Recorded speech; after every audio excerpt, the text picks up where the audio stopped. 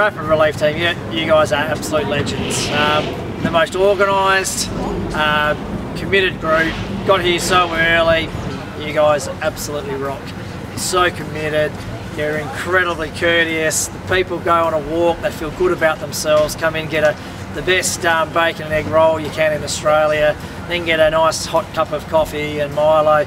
Just uh, everyone just feels really good about themselves, and you're an incredible team. It's just so diligent, and you look over there, it's already almost packed up already. So yeah, just no wonder the uh, community loves having you around. So thanks very much.